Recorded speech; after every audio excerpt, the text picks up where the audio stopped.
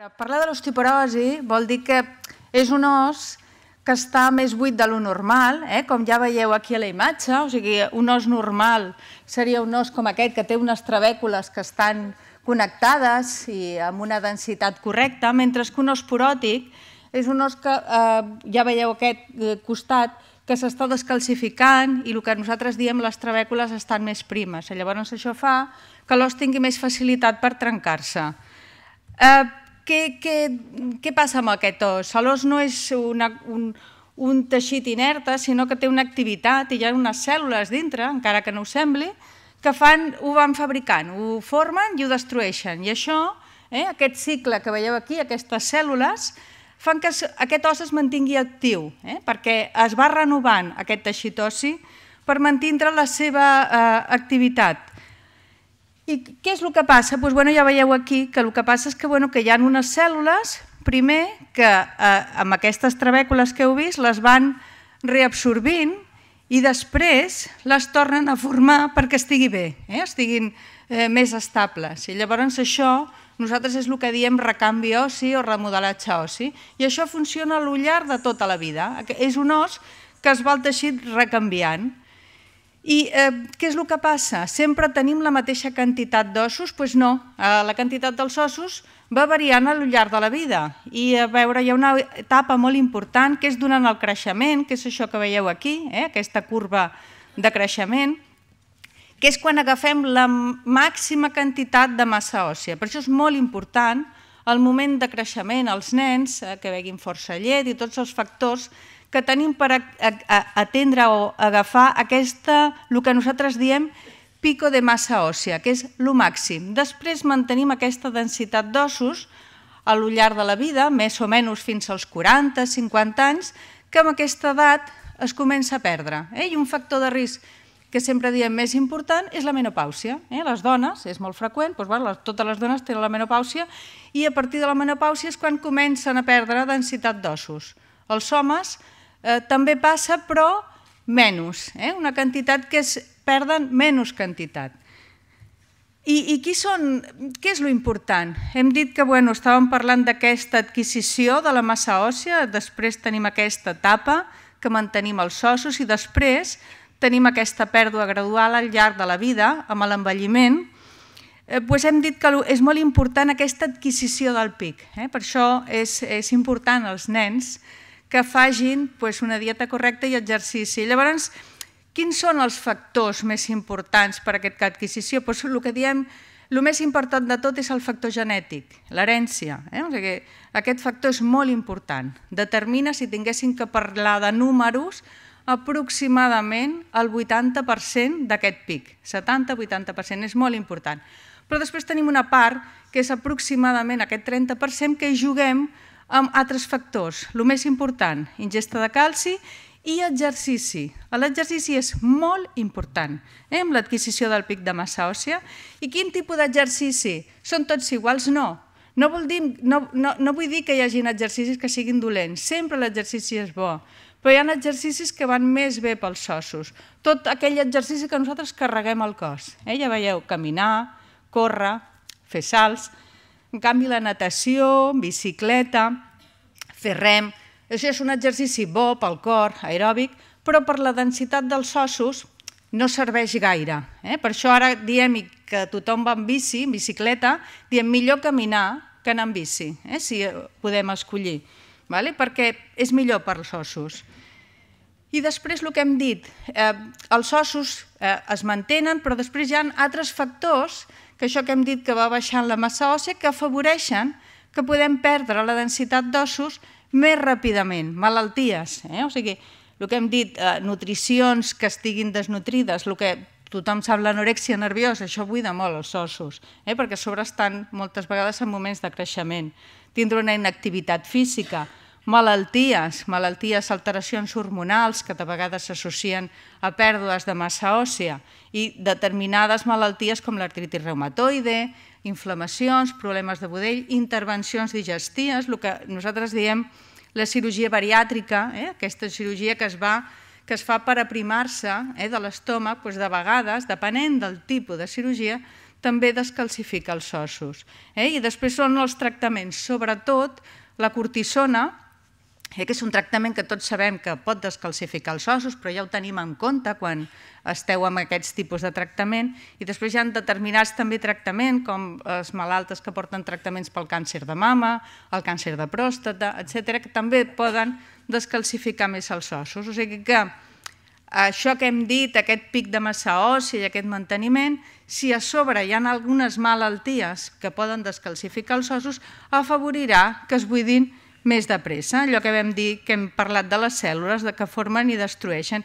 I què és el que passa? Doncs, bueno, aquí veieu la vèrtebra normal com es va buidant, eh? o sigui, com es descalcifica, i això també podeu comprendre no té la mateixa resistència, aquesta vèrtebra que aquesta, la vèrtebra descalcificada es trencarà amb més facilitat.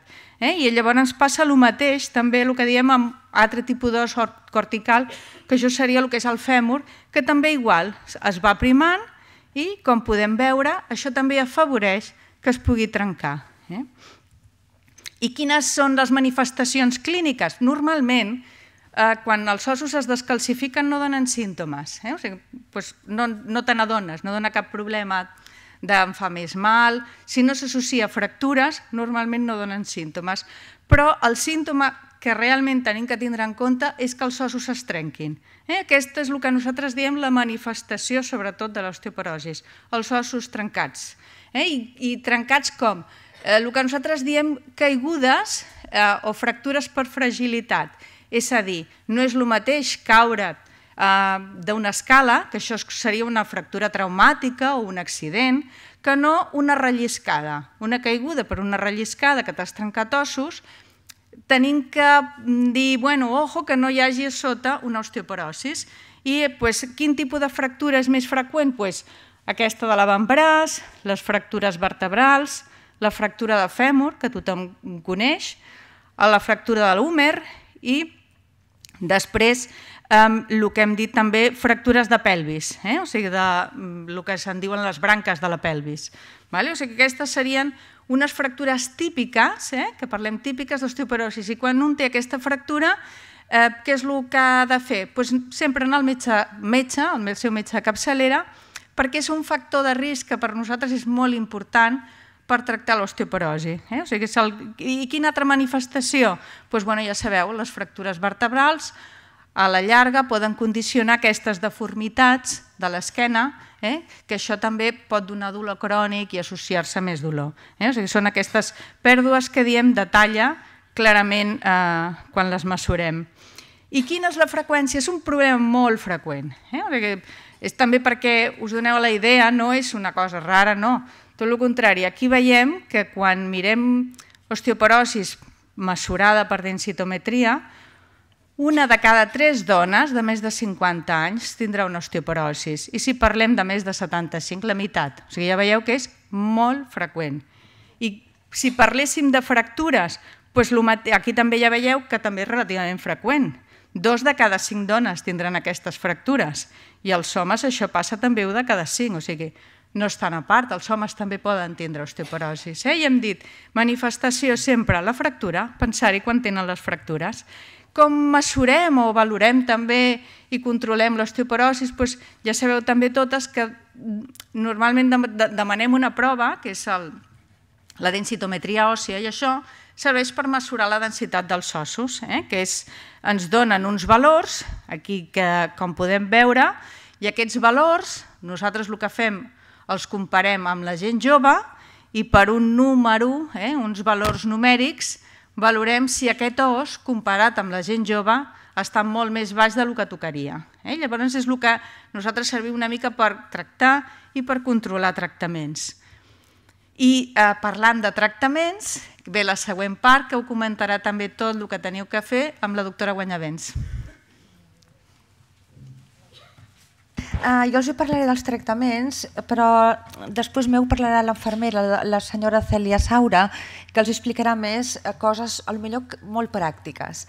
Bueno, quan ens plantegem el tractament de l'osteoporosis, um, hi ha molts aspectes que els ha comentat la doctora Peris, i un dels principals és la fractura. És a dir, és molt greu que una persona que ha patit una fractura per fragilitat no rebi un tractament.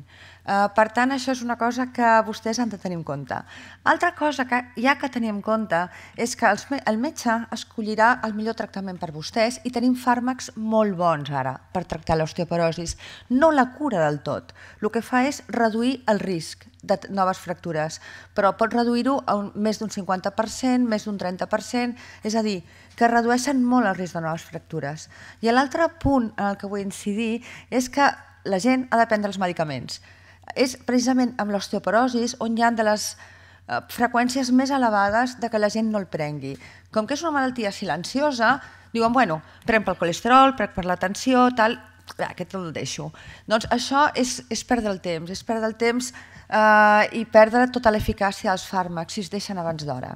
O sigui, dit això, els, els pilars del tractament de l'osteoporosis serien tenir un bon aport de calci. Aquest aport de calci, com després els anirem explicant, podrà ser pels aliments i si no n'hi ha prou, es suplementa amb pastilles. La vitamina D, el mateix. Uh, la millor font és l'exposició de la llum del sol, com els explicaré, i si no n'hi ha prou, es donen suplements. Després parlarem dels fàrmacs, dels medicaments, els explicaré una mica per sobre d'una forma així intentaré planera perquè ho entenguin, i després dels hàbits de vida que hi ha que canviar i que també la Cèlia incidirà amb ells. Bueno, doncs, Uh, el primer que seria caminar, com els ha dit la doctora Peris, molt important tenir ben regulada la vista. Per què? Perquè si no veuen bé és molt més fàcil caure. I de fet hi ha estudis que demostren com hi ha menys fractures quan la gent s'ha operat, de, per exemple, de catarates. És una cosa importantíssima. El calçat, ja els explicaré ella que no es té que anar amb, amb sabates que llisquin, etc tenir una bona aport de làctics, deixar el tabac i deixar l'accés d'alcohol. Bueno, doncs aquí ho tenim el primer, l'aport de calci, el deixar de fumar, el fer exercici físic, com els ha dit la doctora Peris, sobretot de contacte amb el terra. I quines són les recomanacions de calci? Perquè vostè dirà, bueno, a mi em diuen que he de prendre calci, però quan?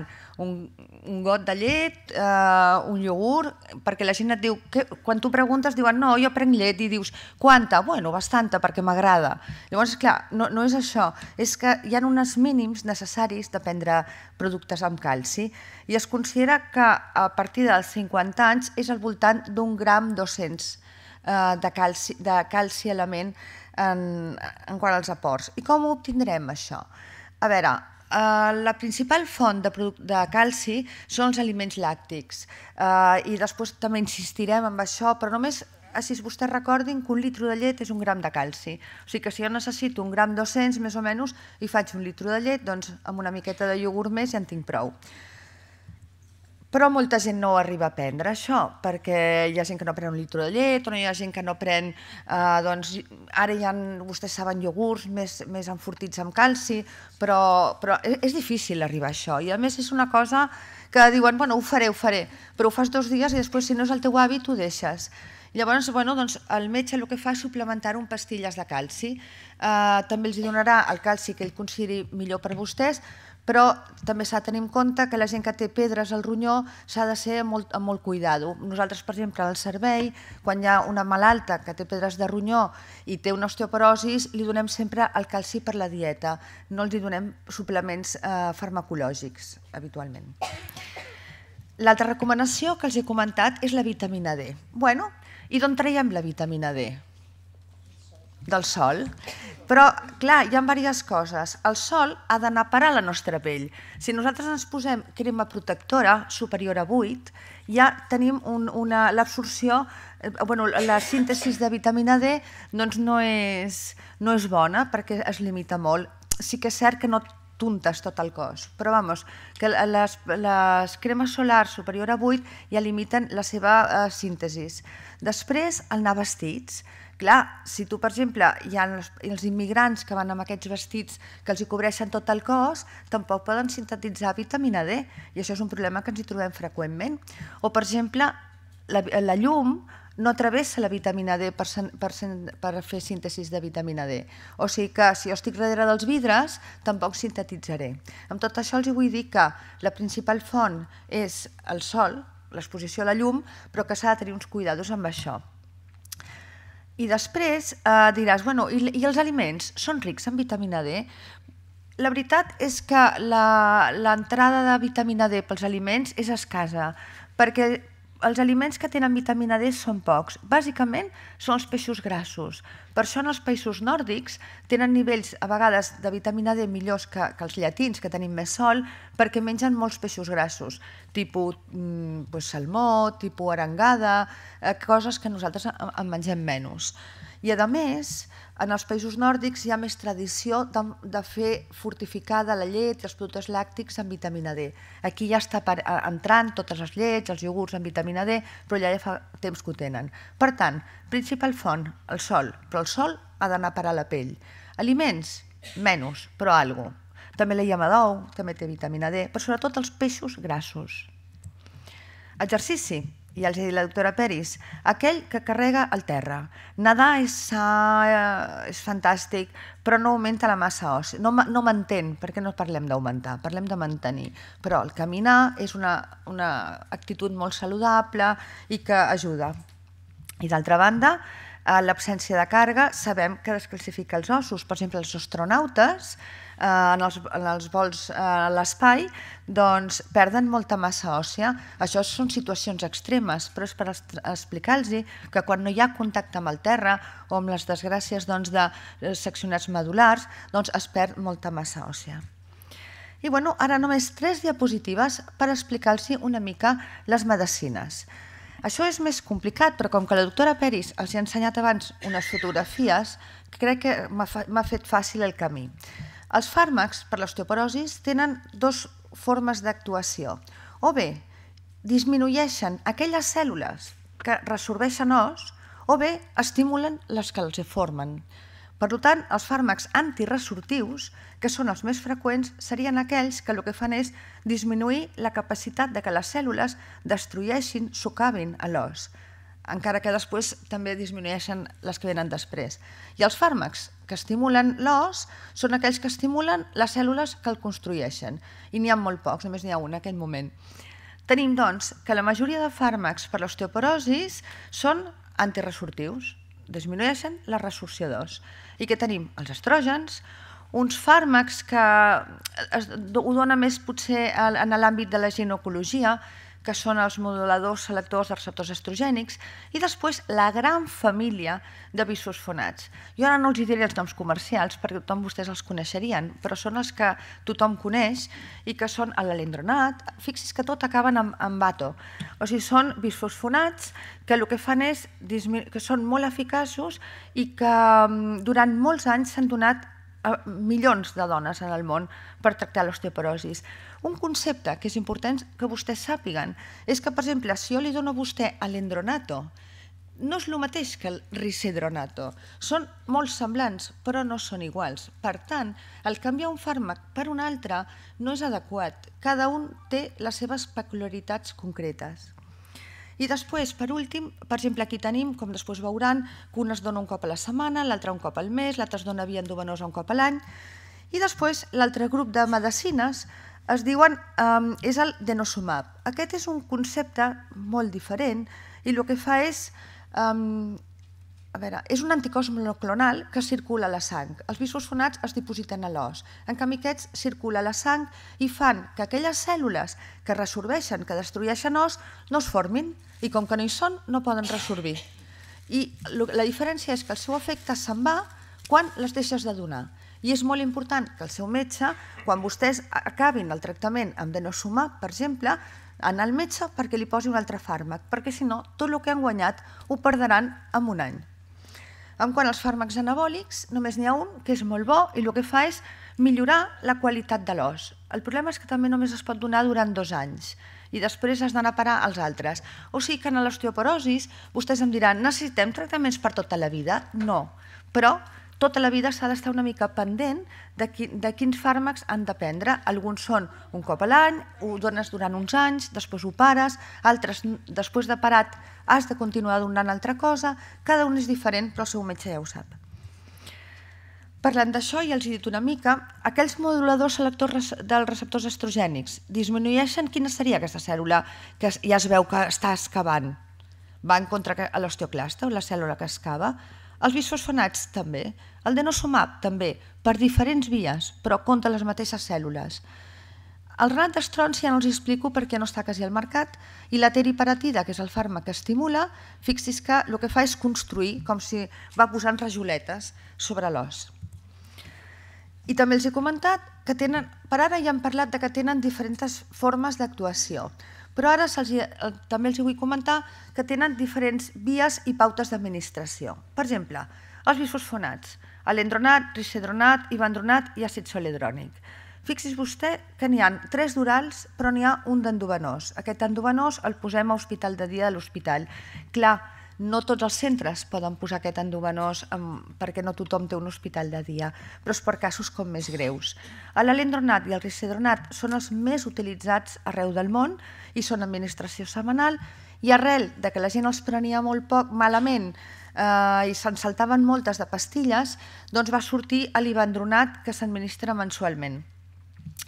L'osteoformador que els he comentat, que és la teriparatida, és amb injecció subcutània, com si fossin les, les, agull, les, les, les xeringues per la diabetes d'insulina, i, eh, o sigui, no és que sigui insulina, vull dir que són molt finetes, amb una agulla molt primeta, i es posa diàriament durant dos anys, i el denosumab, aquell que els he dit que destrueix els osteoclastes abans que arribin a l'os, aquest es posa cada sis mesos per via subcutània. O sigui que tenim un gran ventall de forma d'actuació, forma d'administració, durada de tractament.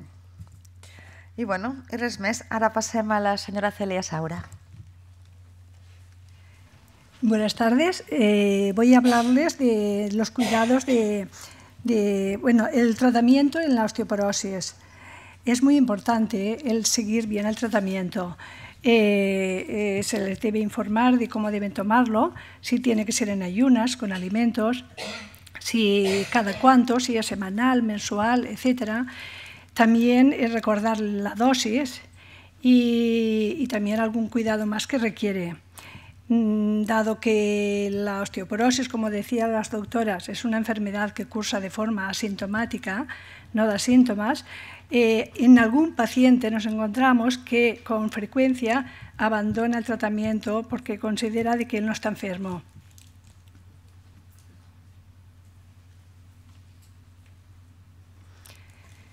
Mm, fomentar hábitos de vida saludable eh, influye de forma directa en la prevención de la osteoporosis. Es preciso tomar alimentos que contengan calcio.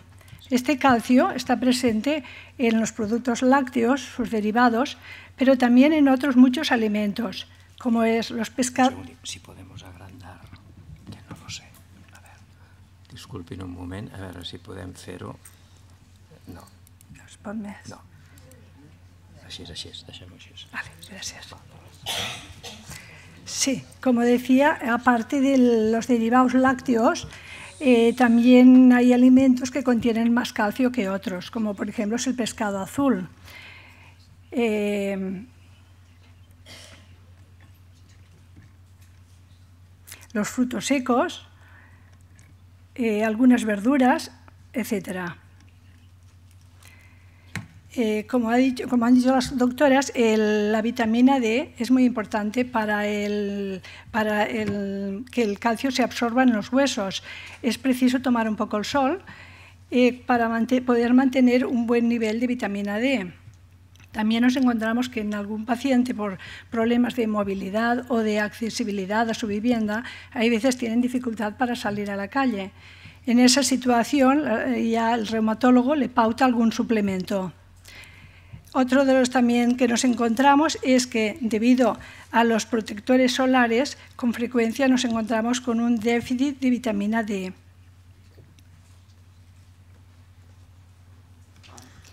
Es muy necesario llevar una vida activa, eh, realizar ejercicio físico diario, caminar mm, como mínimo entre 30, entre 30 y 60 minutos, realizar otras actividades también, como puede ser también el tai chi o gimnasia con ejercicios de extensión y estiramiento vertebral, etc. Esta actividad física va a fomentar el equilibrio, potenciará la musculatura, e ayudará a mantener la masa ósea y reducirá el riesgo de caídas. Eh, estos ejercicios siempre deben adaptarse a la edad del paciente. Sí se debe evitar todas las sustancias tóxicas como son el tabaco y el consumo excesivo de alcohol. Ambas sustancias eh, influyen de forma negativa en la salud del hueso. El, tomar algunas medidas sencillas en nuestro hogar pueden ayudarnos a prevenir algunas caídas o accidentes. Eh, se debe evitar eh, los obstáculos, mantener, mm, tener la vivienda bien iluminada, usar un calzado ajustado y adecuado. En caso de vista mm, que no sea la correcta, se debe revisar y tomar medidas correctoras. Eh, no se debe subir escaleras o taburetes.